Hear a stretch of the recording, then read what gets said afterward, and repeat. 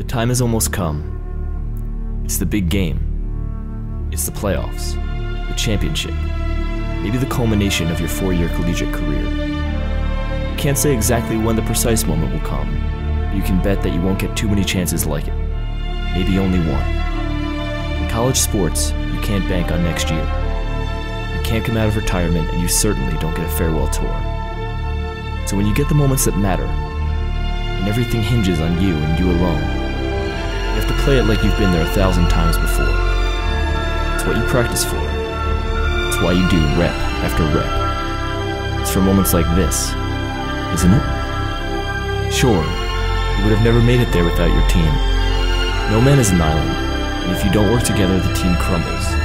But even in a team game, someone has to take that last shot. Someone always scores the game winning point. Someone always has the chance to either win or lose a game. And that's exactly what every good player wants to be the one in control, where they must focus on succeeding at the task at hand. See, the funny thing is, even with all the preparation in the world, there's always the possibility that you could lose. It's times like these where you wish you could go back and do it again, knowing the adjustments you have to make. What if you could? What if overcoming failure was part of your preparation? That your failure wasn't real, and now you'd be ready for the real thing.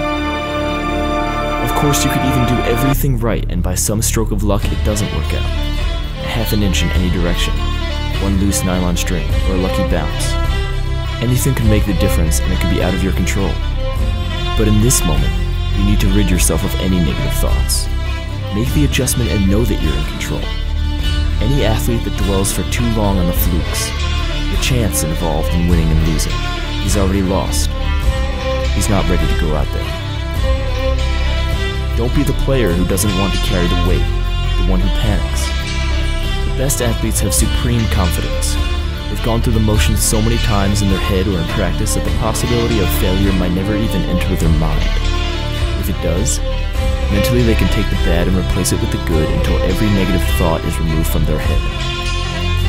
Once you get your head right, the question is no longer if, it's how. The best athletes are thinking so far ahead that they've already thought of four different ways to be and are choosing between them. I'll say it again. Take out the bad and replace it with the good. It's a strange feeling, that feeling you get when you're finally ready. Your mind is completely clear. Time slows down. All your stress disappears. And sometimes everyone around you can disappear too. And it's just you and the ball. Your focus becomes sharp, and you get that kind of clarity that you wish you could have all the time. You're not thinking about your footwork or arm angles, that's why you practice it beforehand. At this moment, you can't remember a time when the game you've been playing your whole life has felt any easier. That hunt for the perfect action that every athlete searches for, the perfect swing, the perfect shot. In moments like these, it finds you, more than the other way around.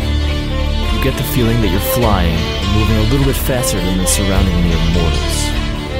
You can't feel any pressure because there's no longer any doubt in your mind. You're ready. You will succeed. You will win. And with the right focus, that player could be you.